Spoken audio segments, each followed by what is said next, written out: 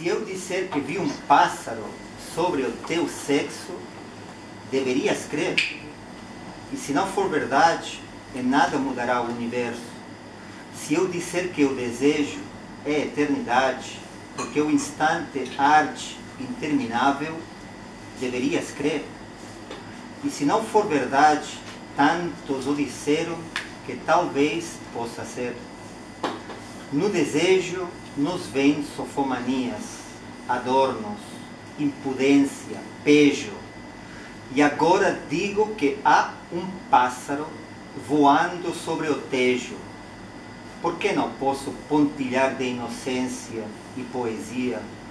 Ossos, sangue, carne, o agora, e tudo isso em nós que se fará disforme.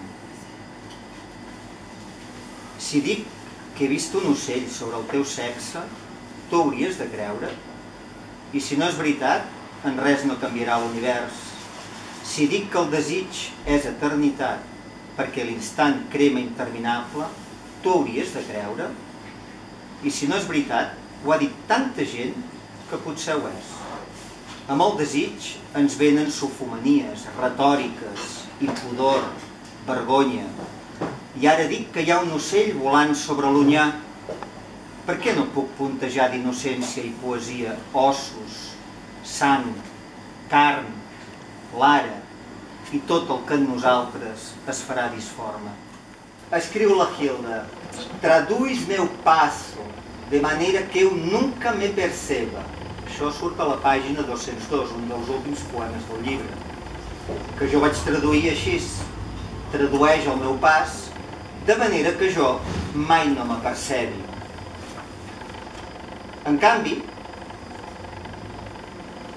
jo tradueixo els passos d'altri, eh, d'altres autors, de manera que sempre m'hi pugui reconèixer, jo, com a autor, com a Josep Domènec Consetí.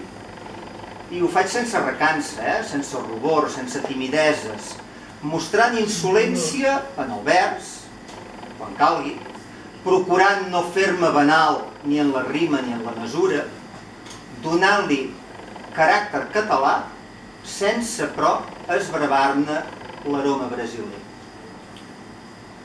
Per tant, què és un traductor? Un traductor no és res més que el donador de carta de naturalesa catalanesca a un text guiri.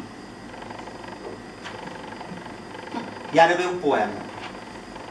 És un pecat original que el poema d'un altre s'orni amb belles paraules.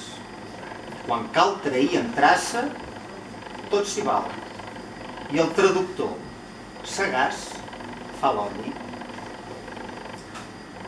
Perquè en el fons, del fons, traduir com escriure, fet i futur, traduir no és res més que reescriure, és de per si un penediment.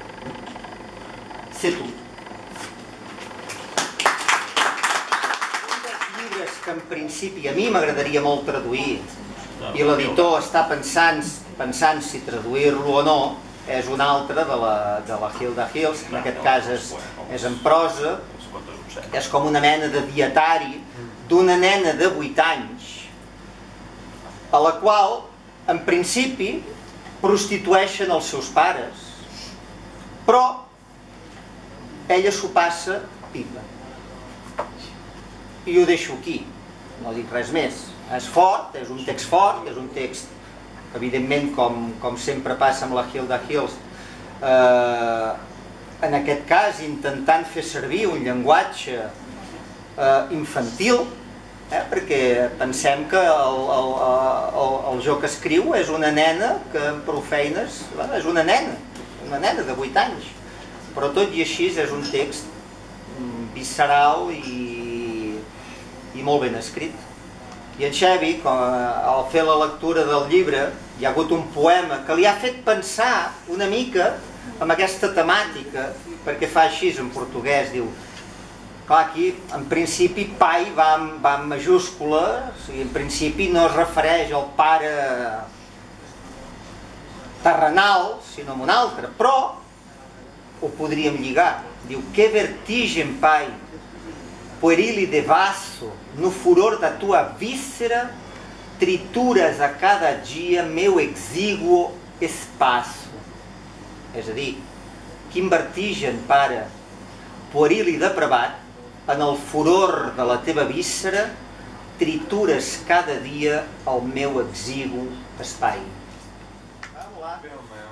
Dirás que sonho, o dementado sonho de um poeta, se digo que me vi em outras vidas, entre claustros, pássaros, de marfim nos barcos, dirás que sonho uma rainha persa se digo que me vi dolente e inaudita, entre amoras negras, nésperas, sempre vivas.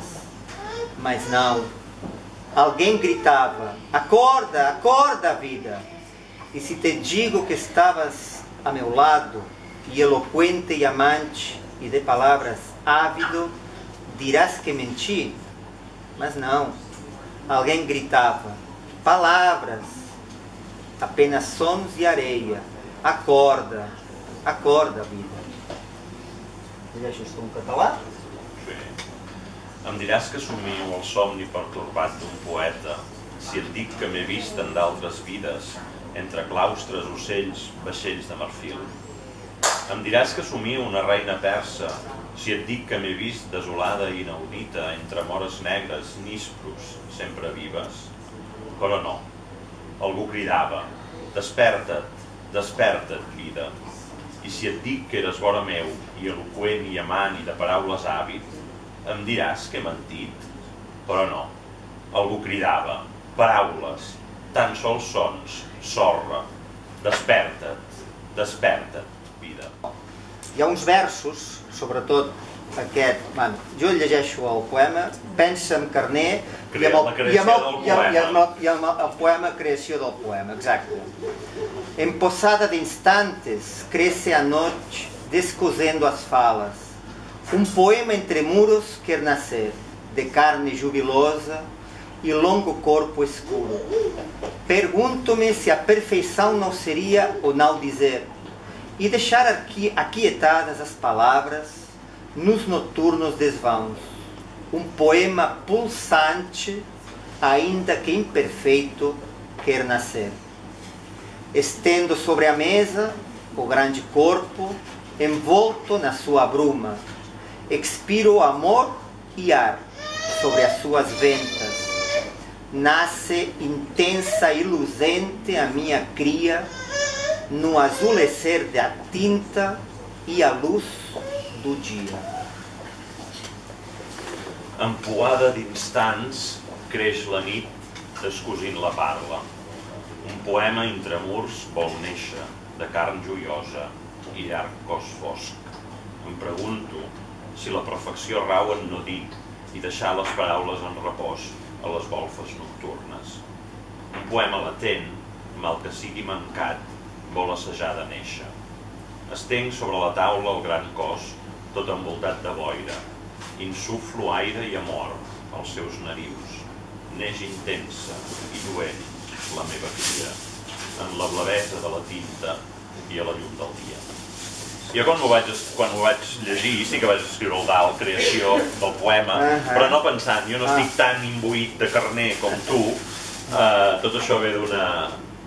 Eh, jo vaig tenir fa anys a Sant Feliu, jo treballo al, al seu barri de Sant Feliu, a l'Institut de Vilartaga, i vaig tenir un alumne, una rara avis en el context, que ara està fent estudis de llengua i literatura castellanes a la universitat, que va fer un treball de recerca sobre el paper de la musa i la creació del poema des dels grecs fins a l'actualitat. Jo li vaig passar moltes, molts contactes, no sé si et va escriure, em sembla que sí, Sí, Uh, I una de les primeres coses que em va dir ell eh, quan li vaig comentar això va dir que llegeixi el poema, la creació del poema de Carné, que no hi vam entendre res en una primera lectura, i menys ella, però bé, llavors per això ha fet aquesta referència. Clar, jo havia, en la lectura havia, m'anoto, Eh, és una altra de les coses que, que, que, hauríem de, que hauríeu de fer, o que hauríem de fer tots quan llegim, que és llegir amb un llapis a la mà i una llibreta al costat, o un llapis simplement i el llibre a la falda, i anar anotant, i anar comptant, i anar fent comentaris, i anar apuntant coses.